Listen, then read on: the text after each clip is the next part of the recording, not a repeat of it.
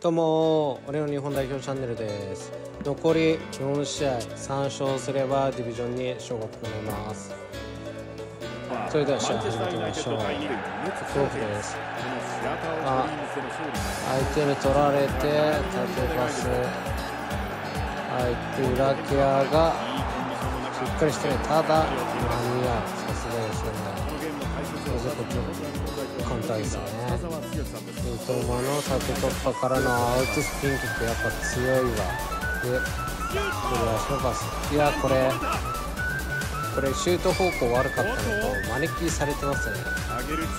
ただしっかり振らして決めてくやっ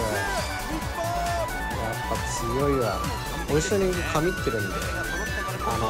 前の動画でも出したと思うんですけどインザークの動きいいとかよく言われてるんですけどブルーハッシュのフルースキルあるんじゃないかぐらい動き出していいんでぜひ使ってくださいやっぱこのキックメイとかいや南のキレがキレがあるわ南のもねライブアップデートいいんでバンバンドルで動きます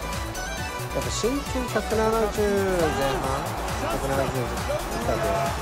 ああこれああああああ遊ばれてるあの70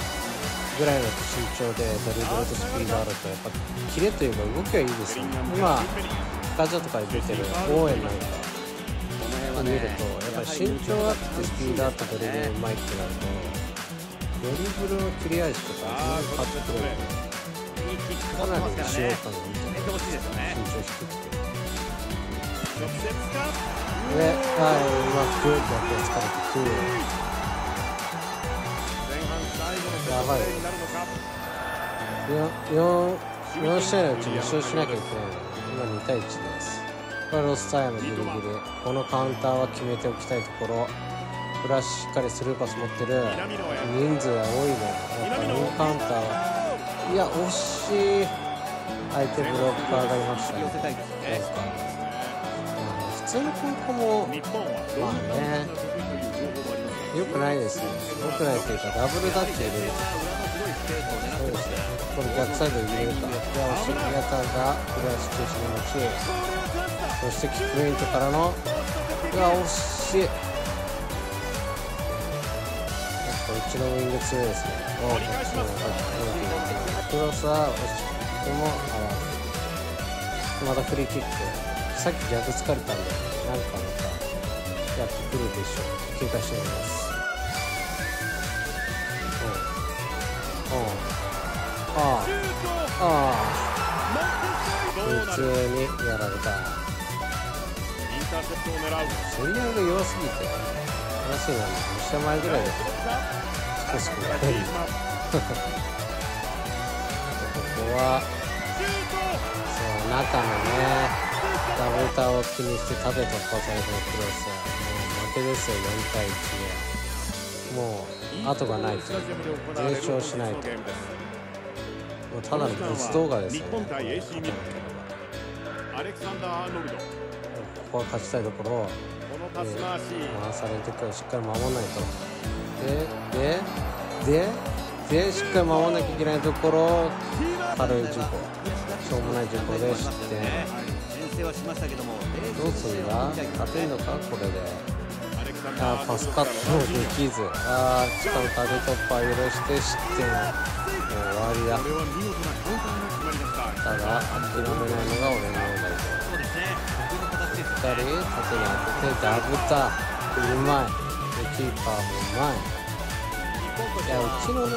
最近ボランチ守備型と攻撃型で分けてる？んですけどこんだけダブタって身長低くてあのあの位置強いっすよねだからしっかり歯ブラシをしっかり外してていや取りたいね今ただその後ちょっとフラッシュ次は決められるかインパクトシュートビビってるね仕掛けないでこのメンタリティメンタリティが勝てないですよね後ろで回してるところはねしっかりボールバイルのプレスをかけて。まあ、正直、私のディフェンフォワード陣守備できるんで、いつか奪えるっていうで。フラッシュしっかりワンパスルーパーで持ってる伊藤まうわ。キーパーファインセーブ。これは本当にファインセーブばっかで入らないことですね、まあ、1点入ればどんどん入ると思うんですね。その1点をねなるべく早く決められるかどうかで多分この試合勝てるか負けるかショートコーナーどうしようかショートコーナーこれ強いっすよね皆さんショートコーナー使った方がいいですよあこれパスカットナイスさんリバーシですこれどうするか三笘で行くのかフラッシュ行くのかで三笘の方かちょっと選択肢悪かったですよね。フラッシュに使えた両相手さん。もう後ろで回せないんだから。で キーパーの飛び出しにこうにビビってループシュート。ループシュートでいつからあんの量話にならないループシュート。でこのクロスも合わせらんない。いや負けたってもう残りあれ最初見なか高校の危機ですよねなんなら日本対 AC ミランこちらの出場をお楽しみいただきます右輪を目指すのにただクリアして入れたして招きしっかりされてくるあのー、まあ、デビュー1経験者とそれは上がれない人のさちょっとあってやってるとなんとなくわかるじゃないですか。あこの人すげえなデビがこれめちゃくちゃうまい。マジでうまい。さっきも超うまい。でその経験者のさまあやっぱり招きのうまさだと正直思ってまして、うん、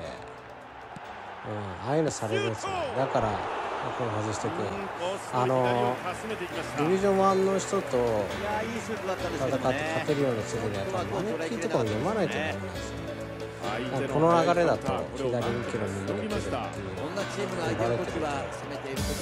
の入んないようにその逆をつけるだから相手がその招きうまいのかどうか駆け引きしないですね。あのもうふっちゃんグルの場面に。逆もしっかりで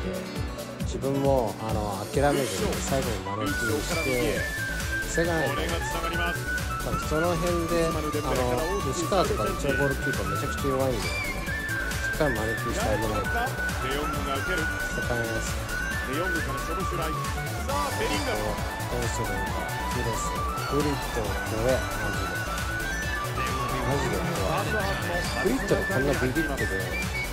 チームいないっす本当に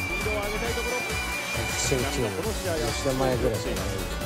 ここしっかりいやーうまいねいやお相手さん招きついてもまあそこまで。なんてさすがにそして三笘で煽っていくてかあれじゃん。あれいつの間にか点決めたあれ？いつだっけ？スパス。ただ奪うおこれここ。しっかり決められた？招きされてても。まあこういうのありますからね。確率。うん。まあ3-0 3-0までいけば、もらったものですよ。本当の練習からルーベットそしてタッチパーさすがやっぱ縦行くと見せかけて中中行くと見せかけて縦それが強いですよだから三笘あこれキーパーちょっとあれですよ縦行くんじゃないかな中に行くんじゃないかなっていうここで笛ですあっすけど、まあ、気気づいたらこうさっきこのこのぐらいの試合をさっきまでできたらよかったんですけどで多分これそうこれも勝たないと残念いかないんだよねバップ危ない危ないところでしたがなんとか切り抜けます本当に